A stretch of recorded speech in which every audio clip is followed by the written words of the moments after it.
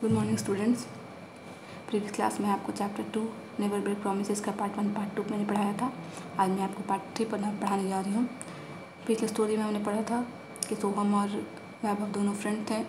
दोनों ने आपस में मिलने का और एक संडे पूरा स्पेंड साथ में स्पेंड करने का वादा किया। वादे के अकॉर्डिंग सोहम ने वहाँ पहुँच कर अपना वादा निभाया। सोहम से, वैभव से मिलने के लिए गया, लेकिन वैभव को वहाँ नहीं पाया।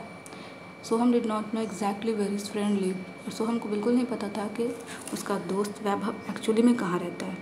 He waited in vain for Vaibhav to appear it began to grow dark and Soham was afraid धीरे धीरे शाम होने लगा और सोहम डर डरने लगा.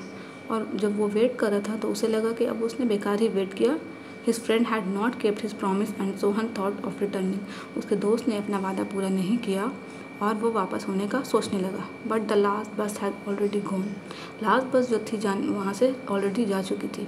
अब वहाँ से जाने के लिए कोई बस नहीं थी। वाट कुड ही डू अब वो क्या कर सकता था? The depot was deserted he sat at a bus stop and began to cry he spend the night there in the worry and fear जो वहाँ का बस स्टॉपेज था, वो बहुत ही डिजर्टेड एरिया था। वो वहाँ पर बैठ कर स्टॉप पर रोना शुरू कर देता है।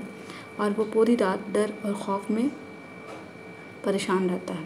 He caught the morning bus back home वो सुबह की सुबह की गाड़ी पकड़ता है मॉर्निंग की, और अपने घर वापस जाता है। All this happened because his friend fail to keep his promise ये सब कुछ इसलिए होता है तो क्योंकि उसका दोस्त अपनी प्रॉमिस अपने वादे को निभाने के लिए नाकाम रहता है। Obviously he lost trust in his friend Vaibhav for और ज़ाहिर सी बात है, उसकी वजह से वो अपने वैभव का जो ट्रस्ट है, जो विश्वास है, वो हमेशा के लिए खो दे, वैभव ने खो दिया अपने दोस्त से। वो अब वैभव पे कभी भी यकीन नहीं कर पाएगा। मोरल ऑफ़ द स्टोरी बच्चों, इसका मोरल ऑफ़ द स्टोरी क्या हुआ? Promise means everything but after they are broken sorry means nothing promise हमारे लिए वादा, हमारे लिए सब कुछ होता है। लेकिन वादा तब तक वादा रहता है जब हम उसे पूरा करते हैं। जिस दिन हमने वो वादा कर दिया सॉरी मतलब का मतलब कुछ नहीं रहता। मतलब हम लाख माफ़ी मांग लें, उस सॉरी का कोई मतलब नहीं होता है। कोई हमें माफ़ भी कर दे, हम उसका ट्रस्ट वापस नहीं ला सकते हैं। तो ये बच्चों, आज का स्टोरी यहीं पे ख़त्म हुआ। नेक्स्ट क्लास में हम आपको नई स्टोरी नए मॉडल के साथ बताएँगे। तब तक के लिए बाय बाय टेक केयर